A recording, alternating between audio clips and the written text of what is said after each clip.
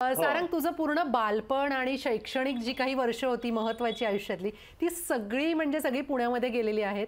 पुण्यामध्ये वाढला आहेस तिथंच शिक्षण झालं आणि सगळं. तर पुण्यातला जो बाप्पा असतो त्याचा माहोल काहीतरी वेगळाच असतो. मुंबईतलाही बाप्पाचा असतोच मात्र. तू स्वतः पुण्यातला आहेस तर मग पुण्यातल्या बाप्पाच्या तुझ्या काय आठवणी आहेत?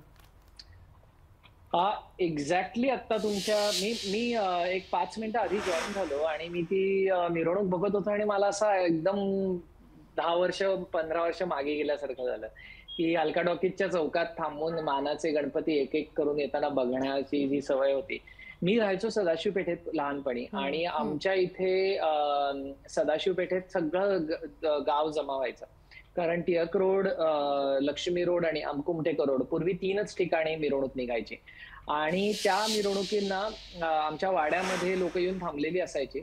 आणि कोणीतरी एक एक पाळी पाळीनी जाऊन लक्ष्मी रोडवर थांबायचं. मग तिकडून निरोप यायचा की अरे दगडूशेठ पोचला दगडूशेठ पोचला त्यानंतर मग निरोप यायचा अरे काय गुरुजी तालीमचं मंडळ आलंय गुरुजी. मग सगळे धावत धावत तिकडे जायचे दर्शन घ्यायचं मग परत घरी येऊन बसायचे.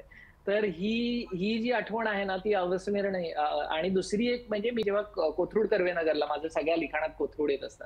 हो. तर कोथरूड कर्वे कर्वेनगरला जेव्हा मी शिफ्ट झालो तर तिथे वेगळी परंपरा होती तिथे सोसायटी कल्चर होतं. प्रत्येक सोसायटीचे आपापले हॉल असायचे. तिथे वेगवेगळे कार्यक्रम व्हायचे. मी माझ्या आयुष्यातला स्टेजवरचा पहिला डान्स तिकडे केला. मी आयुष्यातलं पहिलं स्किट तिकडे केलं.